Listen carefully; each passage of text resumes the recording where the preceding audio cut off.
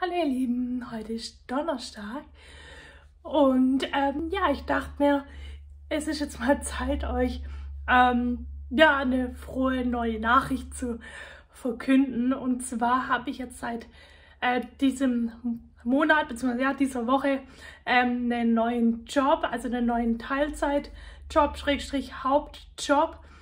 Ähm, genau, ich hatte mich ja ähm, jetzt schon äh, seit einigen Wochen umgesehen nach einer Alternative, ähm, nachdem ich mich ja jetzt von ähm, der Arbeit, wo ich äh, ja war, nach dem Freibad bzw. am Empfang ja getrennt habe, weil das einfach nicht gepasst hat mehr.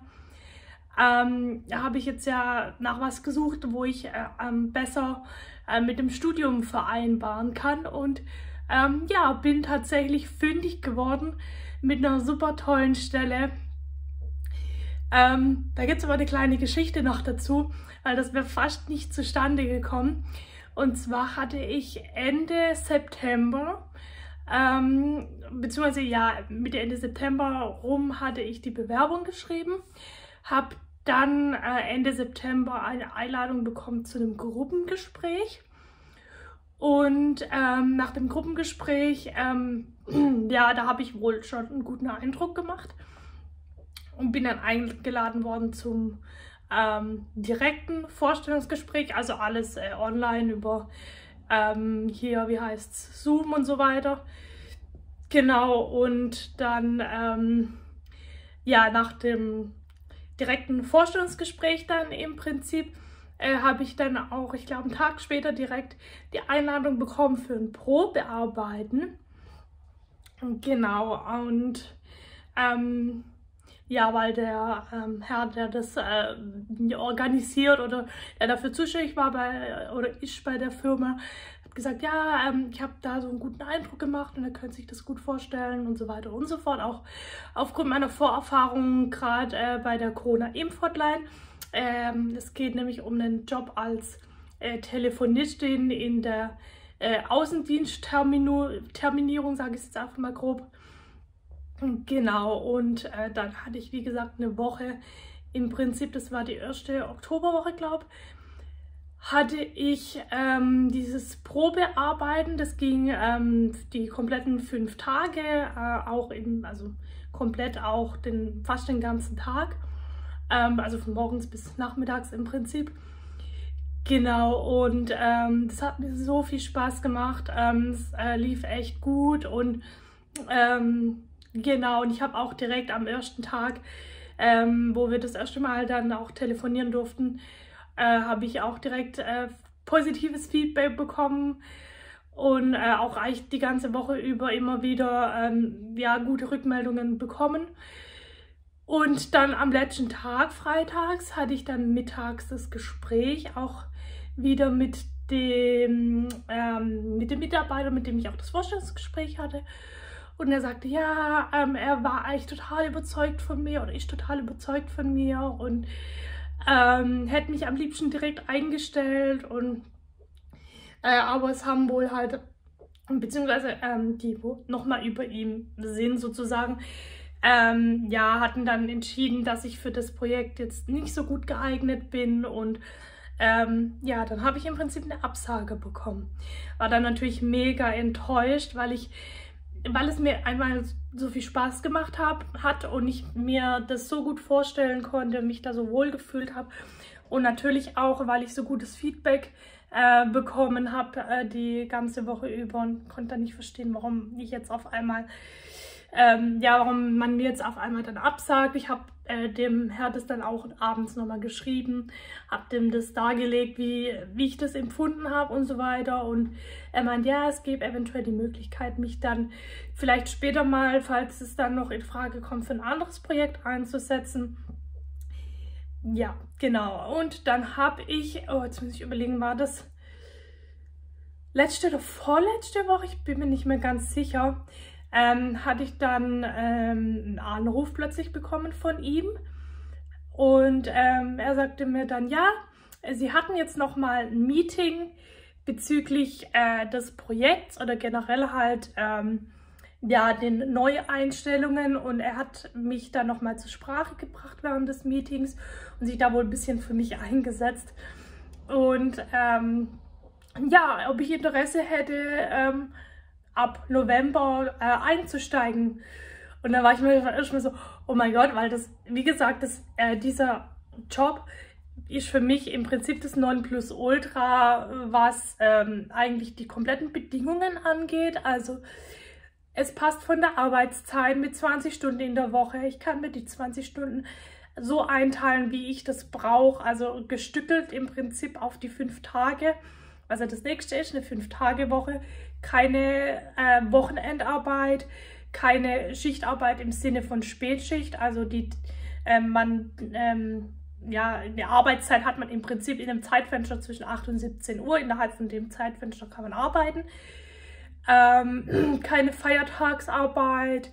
Zwischen, ähm, glaube Weihnachten und Neujahr ist ähm, hier, genau, sind Betriebsferien, da muss man dann auch nicht arbeiten. Ich glaube, das hatte ich euch in einem Video, glaube ich, schon mal erzählt, dass ich da, ähm, ne, dass ich da so begeistert bin von dem, von dem Job oder von den Bedingungen. Und wie gesagt, den Job habe ich jetzt letztendlich dann doch auch bekommen. Ich bin so happy.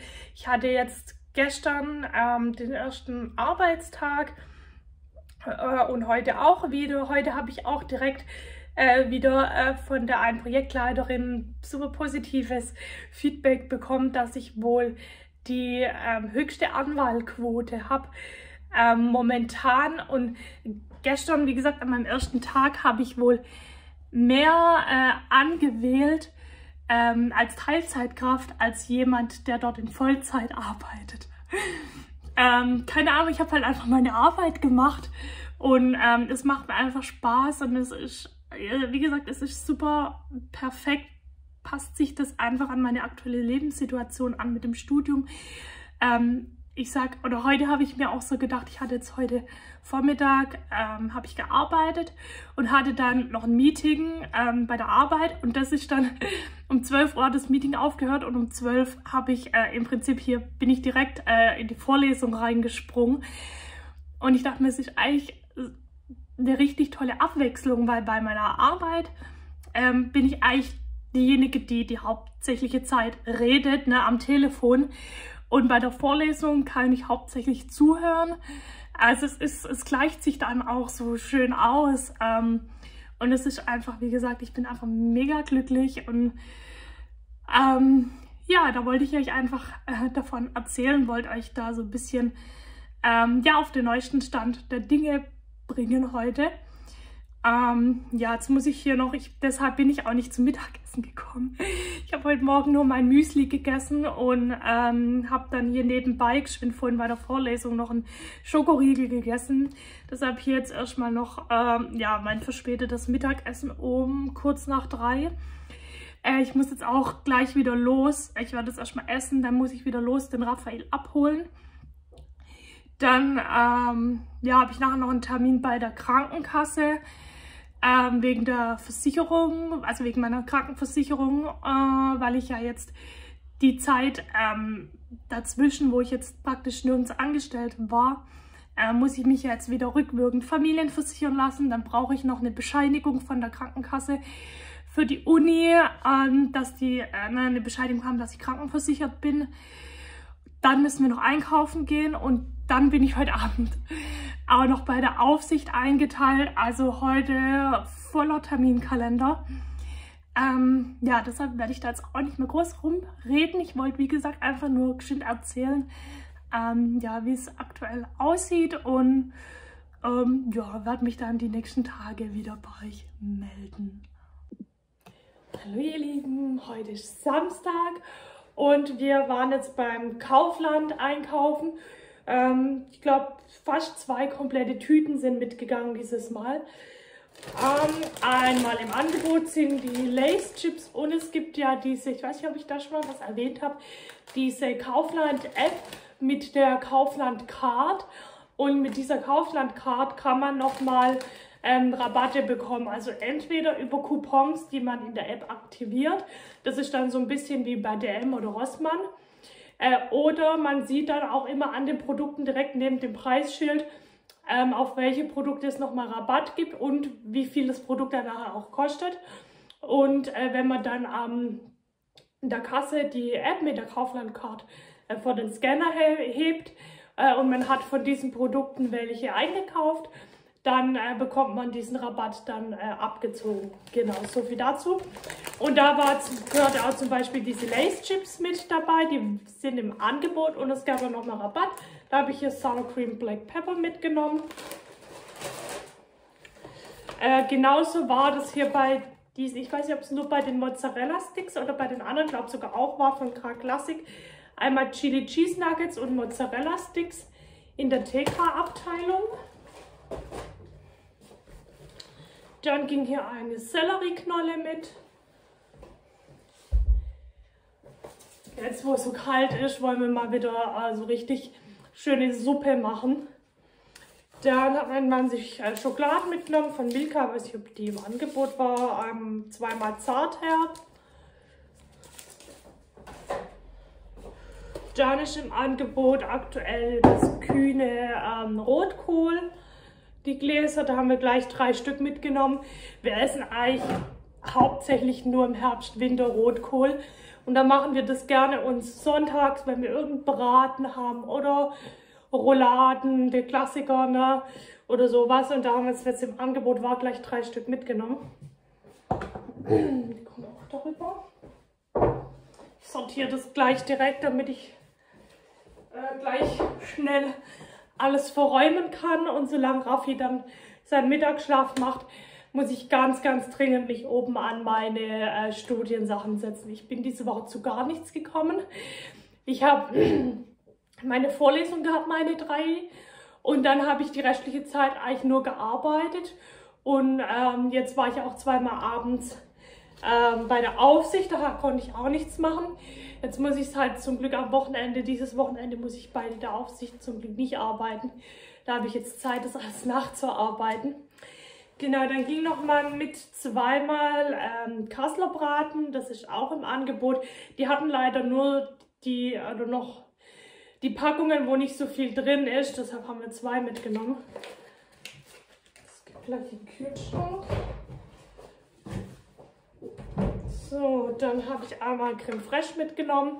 Da will ich mir äh, noch äh, hier Kartoffelsuppe machen. Ich hoffe, dass ich das morgen noch irgendwie hinkriege.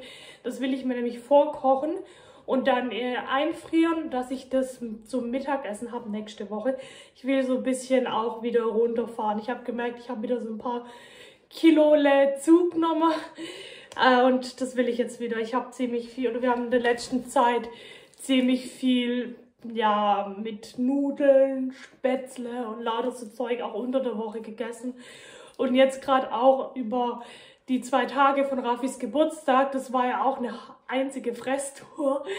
Wir haben so viel gegessen und jetzt habe ich gesagt, jetzt fahre ich das mal wieder ein bisschen runter und ähm, ja, versuchen wieder so ein bisschen in meinen mein Low Carb reinzukommen, unter der Woche zumindest. Dann ging noch mit Softland Weichspüler, äh, der war im Angebot. Hier einmal Frühlingsfrische. Dann gehen noch Bananen mit. Da will ich jetzt auch morgens wieder, das habe ich eigentlich nicht lange Zeit gemacht, dass ich zum Frühstück immer Bananen und äh, Naturjoghurt gegessen habe. Also eine Banane klein und äh, Naturjoghurt, aber irgendwie die letzte Zeit, ich habe immer Müsli gegessen und klar ist das auch lecker und alles toll, aber ähm, wie gesagt, Low Carb ist es halt nicht unbedingt das Müsli. Und dann mein Mann sich seinen Bacardi wieder mitgenommen. Ich weiß nicht, ob der glaubt sogar im Angebot ist. Bin ich mir nicht sicher. Oder ob das, oder ob das erst nächste Woche kommt. Irgendwas war im Kaufland Frischfekt auf jeden Fall drin. Dann gingen, oh Gott, die fallen schon alle raus. Gingen noch Karotten mit.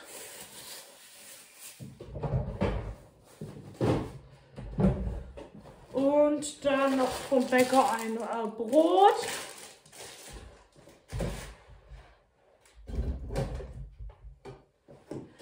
So, das war die eine Tüte. Und dann noch die nächste Tüte. Da haben wir einmal ähm, Seitenwürstchen, die mache ich mir dann in meine Kartoffelsuppe. Frisch dann aber mit rein, die gefriere ich nicht ein. Da mache ich, schneide ich die mir dann schön, das geht ja schnell. Weil mir ist jetzt halt wichtig, gerade wenn ich jetzt äh, zwei Vorlesungen zum Beispiel hintereinander habe, ich glaube, das ist das nächste Woche das letzte Mal, aber auch wenn ich dann Vorlesungen habe und dann direkt wieder arbeite, eine halbe Stunde später, ich mache dann immer eine halbe Stunde Pause, auch wenn ich jetzt zum Beispiel montags keine Vorlesung habe, als Beispiel, dann mache ich dazwischen immer eine halbe Stunde Pause, aber da will ich nicht anfangen, erst mir noch irgendwas zu kochen, weil dann ist die halbe Stunde rum.